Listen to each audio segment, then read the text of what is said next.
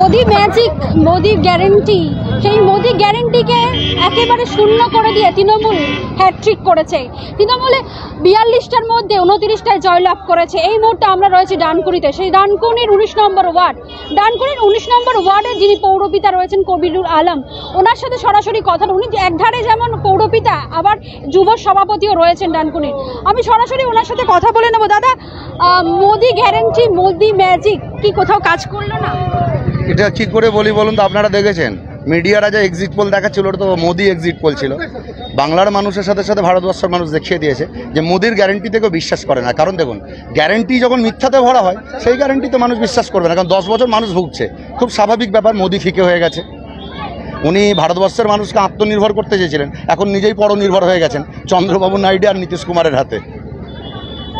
ওনাদের যে জোট, এই জোট কি টিকবে বলে মনে করছেন? আমি দিদির সঙ্গে সহমত পোষণ করছি, পনেরো দিনও থাকবে না মনে হয়।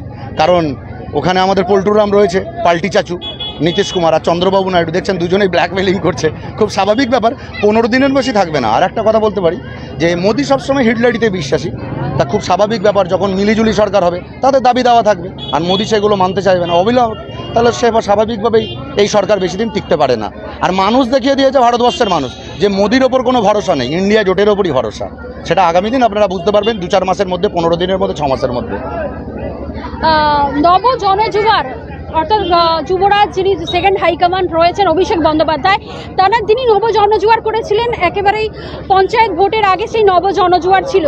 সেই নব জনজুয়ারে দেখতে পাওয়া গিয়েছিল তিনি গাড়িতে করে চতুর্দিক ঘুরে বেরিয়েছেন একেবারে ছিয়ানব্বইতে পাহাড় থেকে সাগর প্রত্যেকটা জায়গায় তিনি চষে বেরিয়েছিলেন ডানকুনির যিনি যুব সভাপতি ডানকুনির যিনি যুব সভাপতি রয়েছেন, ওনাকেও দেখতে পাওয়া গেল। গাড়িতে করে উনি কি তাহলে ডান গাড়ির ওপরে রয়েছেন, পতাকা ওড়াচ্ছেন, তৃণমূলের যে ফ্ল্যাগ রয়েছে, ওনার হাতে রয়েছেন। তাহলে কি ডানকুনির যুবরাজ হিসেবে ধরতে পারি আপনাকে? ডেফিনেটলি নট আমি কোনোদিন আমি সামান্য তৃণমূল কংগ্রেসের কর্মী, ছাত্র পরিষদের সভাপতি থেকে শুরু করে আজকে যুব সভাপতি কাউন্সিলর দল আমাকে অনেক কিছুই দিয়েছে। শুধু বলতে পারি আমি যুব সমাজকে নিয়ে কাজ করি আমার এলাকার যারা যুব আমার ভাইয়েরা যারা এত পরিশ্রম করেছে দলের জন্য লাস্ট আমাদের ইলেকশনে আমি কিছুই না আমি শুধু সেনাপতি হিসেবে দেখি এরাই পতাকা লাগায় এরাই চুন করে এরাই দেয়াল দেয়ালে লেখে এরা এরা বাধ্য করেছে। আমাকে গাড়িতে জোর করে এরা তুলে দিয়েছে আমি নই এরাই সেটা আপনি জিজ্ঞাসা করতে পারেন এদেরকে। একেবারে ভিন্ন রূপ, একেবারে অভিষেক স্টাইল দেখতে পাওয়া গেল ডানকুনি যুবরাজ, তিনি নয় যদিও। তিনি মনে করেন তিনি সবাই এখানকার যুবরাজ, এবং তারা না থাকলে আজকের ডানকুনির উনিশ নম্বর ওয়ার্ড জিততে পারতো না, এমনটাই উনি দাবি করলেন।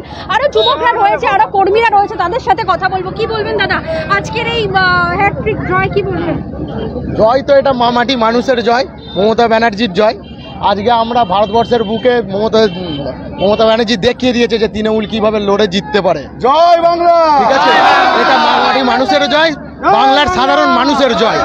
এই জয় আমরা মমতা ব্যানার্জিকে উৎসর্গ করলাম। জয় বাংলা! ভর্তি হয়ে গেছে দেখছি আমি কিছু বললাম দাদা যা বলা বলে দিয়েছে। দাদা কথা শেষ কথা। জয় বাংলা! এখানেও দাদা রয়েছে, দাদার কথাই শেষ কথা। অর্থাৎ কোথাও একটা যুবরা এখানে ডানকুনির যুবকের যুব যিনি সভাপতি রয়েছে, তার ওপর নির্ভরশীল এবং পুরো বাংলা যেখানে যুবরাজ রয়েছেন, অভিষেক বন্দ্যোপাধ্যায়ের ওপর নির্ভরশীল রয়েছেন এবং তিনি সেকেন্ড হাইকমান্ড রয়েছে। তার নেতৃত্বে আজকে উনতিরিশটা আসন জয়লাভ করেছে তৃণমূল কংগ্রেস এবং মোদি গ্যারেন্টি মোদি ম্যাজিক কোথাও হারিয়ে দিয়েছে। এই তৃণমূলের উনতিরিশটা আসন দেখিয়ে দিয়েছে যে আবারও মমতা হ্যাট্রিক করলেন